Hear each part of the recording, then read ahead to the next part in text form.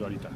Quindi tutto questo sommato eh, al rientro di Francesco, al gol di Mattia e comunque alle sue condizioni che piano piano eh, cominciano a essere più ottimali per poter affrontare eh, gli impegni agonistici e quindi tutte queste situazioni qua ci fanno essere ottimisti che da adesso fino alla fine dell'anno queste due partite si potranno fare sia grandi prestazioni che speriamo anche risultati pieni.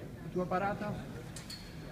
Mm, bella, importante, ma guarda, anche con col Torino, non lo so, adesso col Sassuolo c'erano state altre parate e, e, la cosa più soddisfacente è che questa parata caratterizza il risultato e quindi ci fa, ci fa ottenere tre punti e diventa una cosa importante per la squadra che poi è l'unica cosa che conta. Una curiosità al volo, perché sei stato ammonito che non l'abbiamo capito?